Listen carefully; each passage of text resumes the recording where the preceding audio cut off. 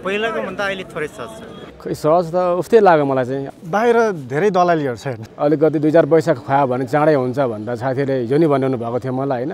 Token system राख्नुपर्ने token system चाहिँ गेटबाट दिनुपर्ने थियो।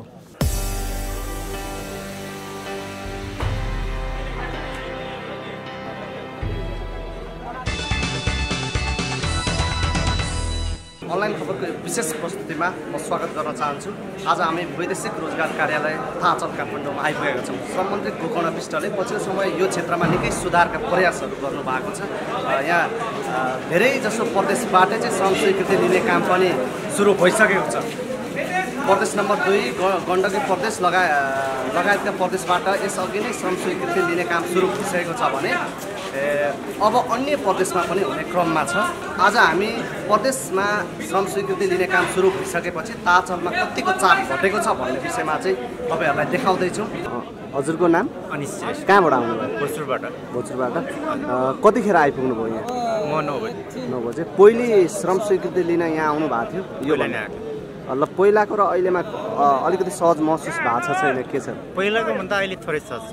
खै सहज त उस्तै लाग्यो मलाई चाहिँ। अलिकति बस्ने कुर्सी मात्रै छ बस्नको लागि चाहिँ अरू त उस्तै हो सबैजना बाहिर धेरै दलालीहरू छ हेर्नुहोस्। अझै छ दलाली? दलालीहरू धेरै छ। हामीलाई अब के भन्छ भने ल यतिमा आउनुहोस् यतिसम्म गरिदिन्छु भन्छ।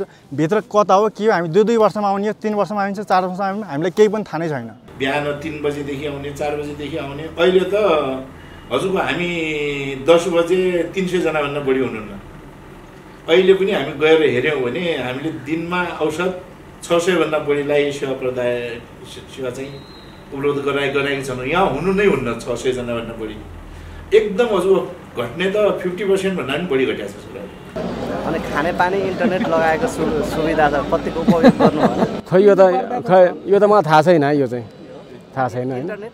इन्टरनेट खै मैले युज गरेको छुइनँ। सहज त सहज त यो बेन्चहरू राखेर चाहिँ सहज थियो। उतातिर के थियो पहिला सिस्टममा के थियो भने पासपोर्टको यति ढ्याक ल्यायो आठवटा दसवटा ल्यायो दसवटा आउने बेलामा आठवटा आउने बेलामा फेरि अर्को ल्याइन्छ लास्टको चाहिँ लास्टको लास्टको हुन्थ्यो पहिला। आउनेहरू चाहिँ माथिको माथि हुन्थ्यो। त्यस्तो हुन्थ्यो। तर अहिले चाहिँ हल्का राम्रै होला। अलिकति दुई चार पैसा खुवायो भने चाँडै हुन्छ भन्दा साथीले हिजो नि बनाउनु भएको थियो मलाई होइन? हजार रुपियाँ पन्ध्र सय रुपियाँसम्म दियो भने चाहिँ चाँडै हुन्छ अरे। अब यो अँ अँ हिजै मैले मैले आफ्नै मान्छे भेटेको अब पन्ध्र सय रुपियाँसम्म दियो भने दुई हजारसम्म दियो भनेदेखि चाहिँ कहीँ लाइनमा बसिकन फटाफट एक दुई घन्टामा भइहाल्छ। अब यो अब हामी चाहिँ अब लाइनमै बसिरहेछौँ जस्तो दुई नम्बरमा एकदम प्रेसर बढ्यो भने होइन अब म काठमाडौँ जान्छु उड्नुभन्दा एक दुई दिन अगाडि यहाँ आउने अनि चाहिँ यहाँ पनि सेवा लिने सम्भावना रहन्छ त्यति बेला चाहिँ प्रेसर बढ्न सक्ला नत्र चाहिँ यहाँ चाहिँ एकदम सहज भएको छ सर। दस बजी आउँदाखेरि यहाँ लाइन थियो होइन तर यहाँ कोही पनि बसेको थिएन। जब यहाँबाट बसाल्न लाग्यो तबबाट यहाँ भद्रगोल सुरु भयो। हेर्नु यहाँ के यो सिस्टम बनाएको चाहिँ यो ठिकै छ होइन यो बेन्च सिस्टम राखेको। तर सिस्टम चाहिँ यो पनि अझै व्यवस्थित भएन। टोकन सिस्टम राख्नुपर्ने टोकन सिस्टम चाहिँ गेटबाट दिनुपर्ने थियो। जतिजना इन्ट्री जान्छ तिनीहरूलाई एक एक एक दुई तिन गर्दै दिनुपर्ने थियो। यदि त्यो सिस्टम आयो भने यहाँ कसैको पनि पालो मिचिन्न तर यो सिस्टम चाहिँ जो बल छ जो अगाडि साथीहरू छ तिनीहरू चाहिँ भित्र घुसिहाल्छ। त्यहाँ चाहिँ सेवा अलिकति चाहिँ ढिला भयो भने यहाँ आउने सम्भावना रहन्छ। अँ, होइन भने अब चाहिँ यहाँ चाहिँ छ सयभन्दा माथि जाँदैन। तपाईँहरूको नाम र पासपोर्ट नम्बर पनि हेर्न नबिर्सिनु होला। जानुभन्दा अगाडि पासपोर्टमा भएको आफ्नो फोटो हेर्ने चेक गर्ने चिनेर कन्फर्म भएर मात्रै लिएर जानु होला। नाम जुनेको हुनसक्छ जिल्ला मिलेको हुनसक्छ पछाडि गएर रुनुभन्दा अहिले एकछिन बरु टाइम वेस्ट गरेर चेक गर्नु होला कर्णबहादुर।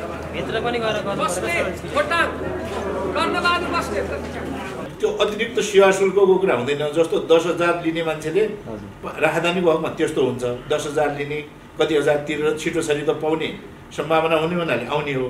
अब यहाँ त के छ भने सेवाग्राही उहाँले चाहिँ पन्ध्र सय रुपियाँ सामाजिक सुरक्षा कोष भन्छमा गर्नैपर्छ यहाँ भयो भने गर्नुपर्छ विराटनगर भयो भने गर्नैपर्छ अनि अब विराटनगरमा घर भएको मान्छेहरू अनि यहाँ आएर यत्रो खर्च गरेर मलाई लाग्छ आउनुहुन्न अब।